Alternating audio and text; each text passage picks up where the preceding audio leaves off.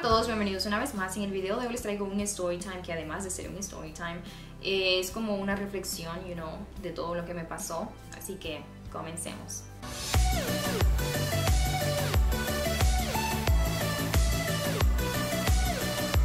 Bueno, como muchos de ustedes saben, yo me vine a este país cuando tenía 18 años. Vine a vivir acá con mi papá, con dos de mis hermanos, su esposa y pues como también les he dicho, yo mi papá lo conocí hasta ya, you know, ya grande y pues no teníamos esa buena comunicación. Y pues nada, les resumo la historia. Eh, empezamos a tener problemas ahí en la casa, problemas familiares, bla, bla, bla, y hasta que llegó un punto en el que yo ya no aguantaba más. Así que por lo tanto vine y le dije a mi papá que ya no aguantaba y que la única solución es que yo me saliera de la casa. A pesar de no tener como una muy buena relación con mi papá, pues él me dijo, ok, yo te apoyo. Para ese entonces yo tenía 19 años. La amiga que yo tenía en este país pues se había casado, entonces ahí donde ella vivía había un cuartito libre, entonces yo le dije a mi papá, bueno, aquí están rentando ese lugar y me voy para ahí. Pues nada, me fui a vivir ahí con ella, obviamente yo en mi cuartito me llevé mis cositas. Les soy sincera, yo para ese tiempo yo era como una novata porque nunca, además de no tener amigos, como que no tenía otras personas a mi alrededor que me, you know, que me sacaran o saliera, como que era, nunca salía, como que, como que este, aún a pesar de tener ya un año yo estando en este país, yo era como como que no sabía ni cómo funcionaban las cosas, como que no sé, como que fuese nueva. Lo único que yo sabía era ir a la high school, de la high school mi trabajo, del trabajo para la casa y en ese entonces, cuando ya me moví, pues me tocaba ir al colegio y pues igual, del trabajo al colegio, bla, bla, bla. Pues nada, me moví con mi amiga, yo ya tenía mi cuartito, mis cositas. En ese periodo de tiempo también uno de nuestros amigos eh, de high school estaba también teniendo problemas en su casa, entonces decidió salirse de su casa.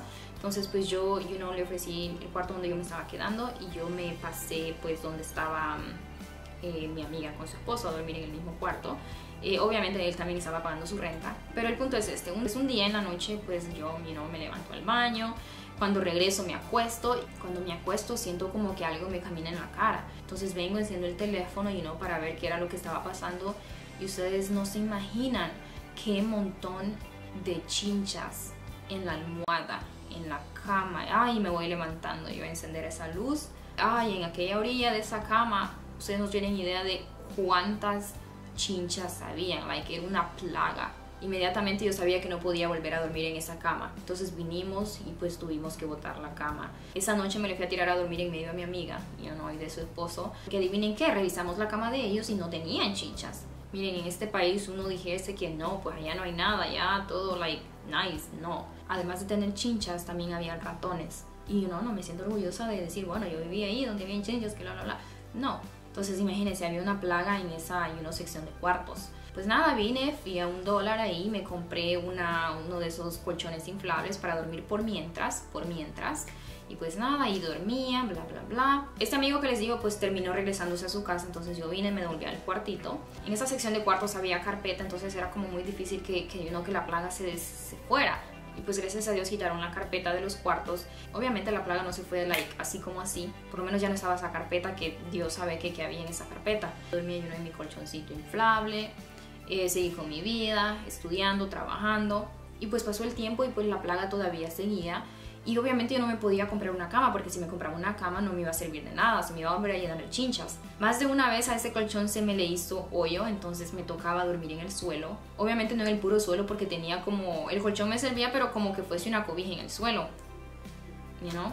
También el suelo incómoda, me dolía la espalda. Recuerdo que una vez eh, para frío yo ya tenía mi calentón, you know, entonces yo lo encendía, pero como que ya se me estaba empezando a arruinar. Y hubo una vez, me acuerdo de ese día que había como un yo tenía un frío, like el calentón no calentaba lo suficiente y yo me arropaba y me arropaba y más, imagínense, durmiendo en el piso como que, como que no sé, el piso quizás estaba helado también y yo me arropaba y me arropaba, pero con un frío que no se me quitaba ya que hay una incomodidad. Y ustedes se preguntarán, bueno, pero ¿por qué no te saliste de ahí o por qué no te compraste otro colchón por lo menos? Y pues la respuesta es esta, yo compraba esos colchones en una tienda cercana pero eh, no tenían en ese entonces, entonces me tocaba esperar que trajeran para, you know, me tocaba dormir en el suelo. De no salirme de ahí era porque estaba muy cómoda, no donde yo vivía, sino este edificio donde yo vivía todo me quedaba cerca, yo no manejaba. Entonces la tienda de comida me quedaba un minuto, em, you know, la tiendita que les digo también, había una, una, farmacia, había comida rápida, incluso para ir a lavar me quedaba, me tomaba agarrar un bus y llegaba. Para el trabajo tenía que agarrar dos buses, luego para la escuela tenía que agarrar dos buses también. Entonces yo estaba así como, oh, pero es que si me muevo eh, no manejo y pues si no me queda cerca y si aquí está todo más fácil, aunque, aunque no estaba bien. Y la verdad, le soy sincera, yo no sé qué pasaba por mi cabeza en, ese, en esa época de mi vida. Like, yo no pensaba en decir, bueno, me voy a salir de aquí, voy a salir adelante, voy a buscar otro lugar mejor. No sé, era como, yo no ni siquiera ir a buscar, a buscar dónde dormir. Like, yo no sé qué pasaba por mi mente en esos momentos. Era como bien lela, no sé. Hoy en día yo me pregunto y digo, pero ¿por qué yo no buscaba mejorar mi situación? Pero sigamos con la historia. Entonces mi amiga con su esposo se salen de su lugar, ella está embarazada, están buscando un lugar mejor, pues ya se salieron. Entonces era como un apartamento donde habían cuatro cuartos, una cocina y un baño. En un cuarto vivía un señor, pero el señor al cual le pagamos la renta. En el otro vivía un muchacho con su hermano y en el otro pues mi amiga y su esposo y en el otro yo. Cuando ella se sale, este cuarto queda vacío. Eh, otra persona se sale también de, el otro muchacho también se salió de vivir ahí. Entonces quedó ese señor y yo. Y luego se movió otra persona, un señor que tomaba, eh, había estado en la cárcel. Entonces como que a mí me entró como miedo. Entonces me moví para el cuarto donde estaba un muchacho porque el cuarto donde yo estaba no, no tenía ventana y pues ya se venía el verano y pues un ventilador no, me, no iba a hacer el trabajo. Entonces acá había ventana, podía poner un aire acondicionado, me pasé para allá. Entonces mi papá me puso tres candados a la puerta porque obviamente yo tenía miedo. La verdad. Y ustedes se preguntarán, pero ¿por qué tu papá no te sacó de ahí? Bla, bla, bla. Miren, mi papá y yo no, en ese entonces no teníamos una buena relación. Él me ayudaba económicamente para pagar la renta, él me pagaba la renta, eh, me ayudaba con el colegio también. Pero no era que teníamos una una bonita relación de padre e hija. Eh, sí, obviamente él me daba consejos, bla, bla, bla.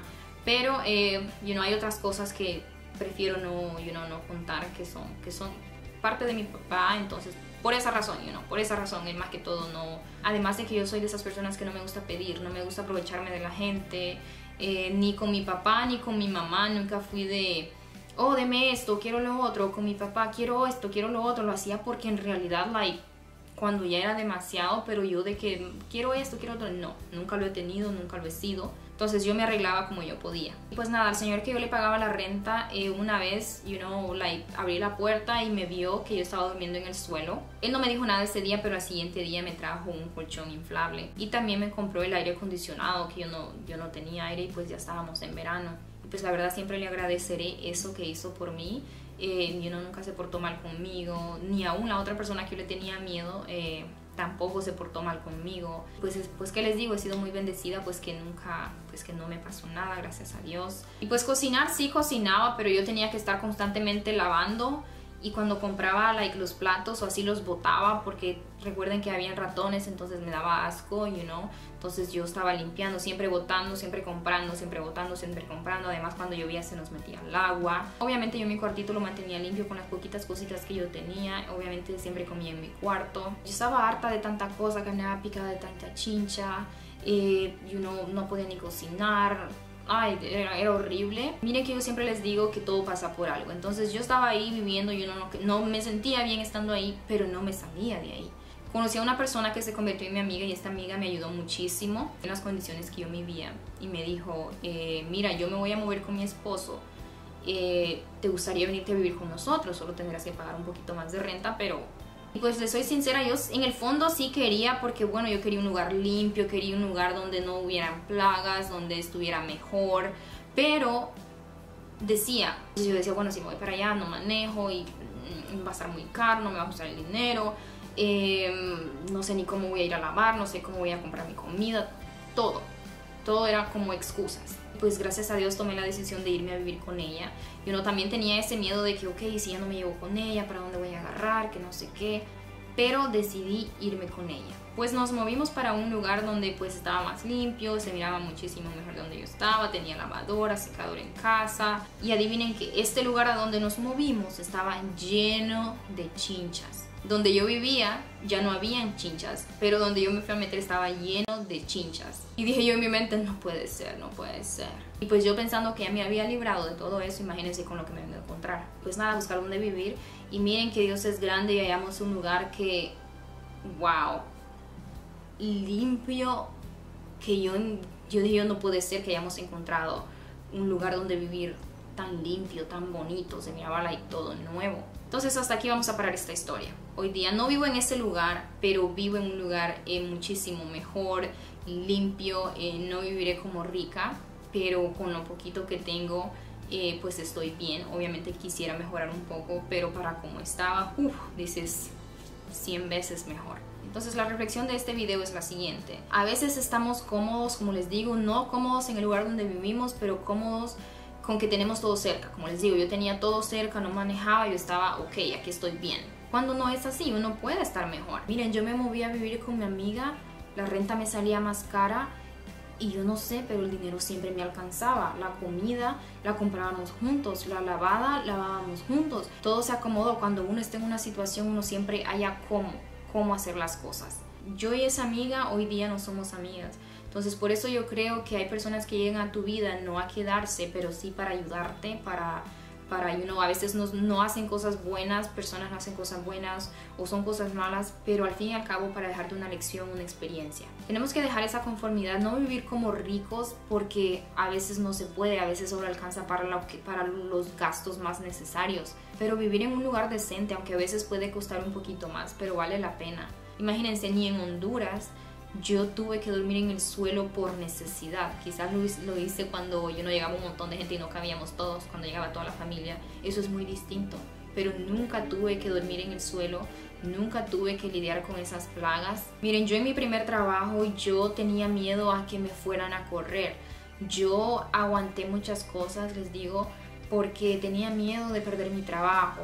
Una vez que yo me salí de ese trabajo me di cuenta de que no era el único trabajo en el mundo y que yo podía conseguir trabajo donde yo quisiera, y no en una oficina, obviamente así, pero en este, más en este país donde hay muchas oportunidades de trabajo, no importa qué tipo de trabajo sea, trabajo siempre vas a hallar. Entonces dije yo, wow, no es posible que yo por miedo haya aguantado muchas cosas. Entonces hoy en día, les soy sincera, a mí no me da miedo eh, que me corran de un trabajo. Eh, no me da miedo irme de un trabajo. Obviamente no es que, oh, bueno, yo me pueden dar trabajo en cualquier lado, a mí no, no te voy a respetar a ti porque son mi jefe, o voy a hacer algo malo y me puedo ir a la hora que... No, obviamente yo hago, trato de hacer mi trabajo bien, mantener mi trabajo.